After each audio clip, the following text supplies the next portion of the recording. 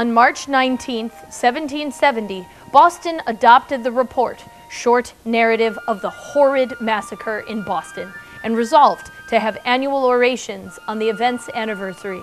On the same day, Ebenezer Richardson was arraigned for the murder of Christopher Seider, one of the precursors to the massacre.